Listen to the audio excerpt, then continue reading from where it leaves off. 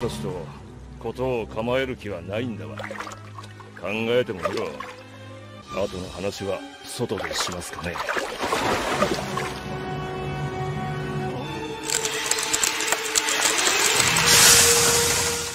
お前なんで赤犬と決闘なんかしたんだ？仲間なんだろ？やれやれ。ほんとデリカシーのない小僧だよ。俺はある男を追っているお前さんたち最近すげえのと戦ったんだろ ?Z